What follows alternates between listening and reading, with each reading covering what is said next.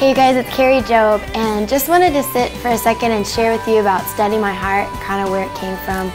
Psalm 55:22 says, Cast your burdens on the Lord, and he will sustain you, and he will not allow the righteous to be moved.